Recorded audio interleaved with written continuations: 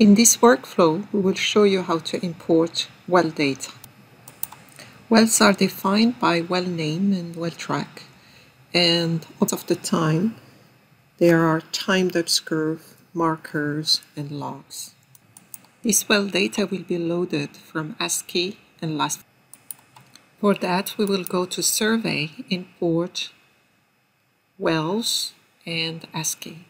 There are other options for multi-well import and for Petrel direct link in case your well data is coming from Petrel and VSP SEG-Y. So for our case, this example, we will select ASCII track. So that's the first well data we are going to load.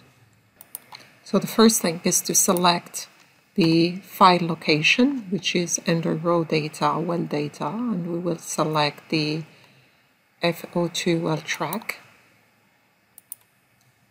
The examine file will allow us to define the format. As you can see, there is no header in this file, so we select define format. The first column corresponds to X and second column to Y.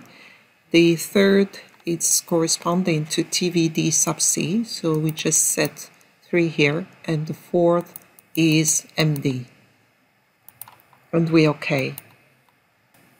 We can close this window, and the second is to define the format and the file load the depth to time model, which will be used for any conversion from time to depth and depth to time for all the well data. So we select the location for the uh, time to depth uh, conversion file and open and we examine the file to define the format. No header in the file and we select define.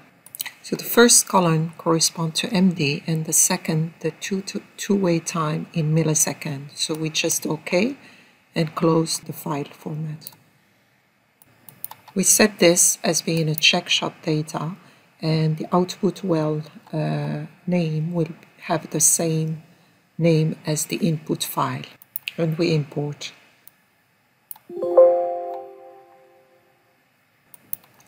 And we say no to close the window. Then you can uh, display the well in the survey by going to the scene a right mouse click and add and select the well and OK.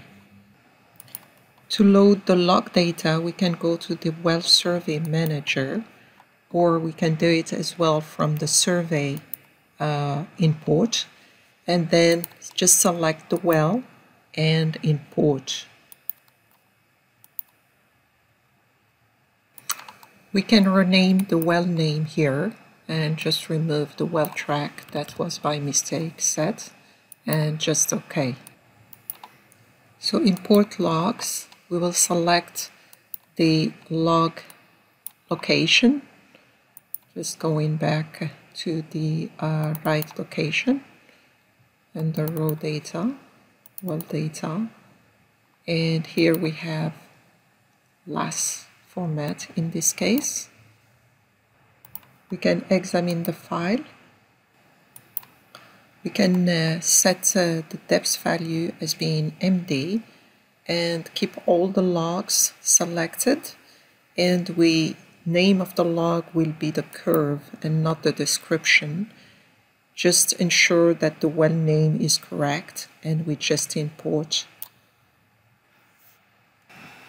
From the same well manager, we will import markers from the fourth icon that you see there. And uh, that uh, the window will open. And in this window, we can manually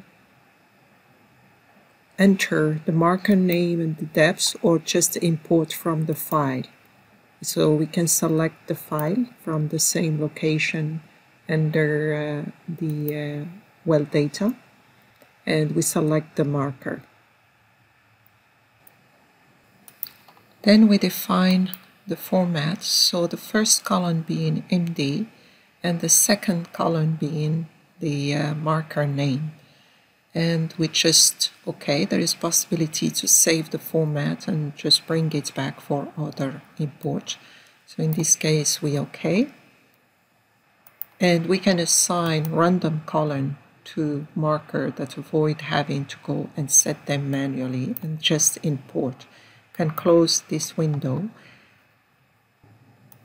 So you can see now all the markers were imports and assign different color that we can change by double clicking on the color uh, box and change the color here.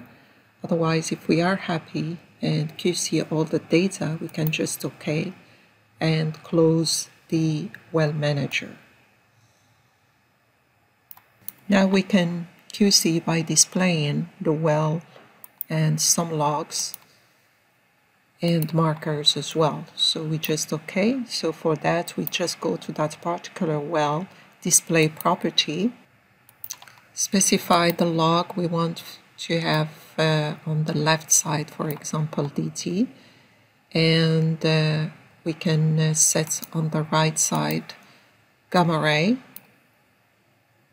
and just select all the markers to be displayed we might want to increase the size of the data. So we just, okay, and you can see here that we have the well with the, the logs and markers which are displayed. This concludes our well data import workflow.